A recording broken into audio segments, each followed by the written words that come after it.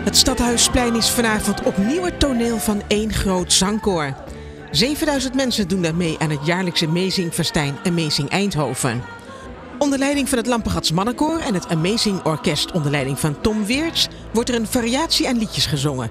Van De Vlieger van André Hazes tot de Bohemian Rhapsody van Queen en meer.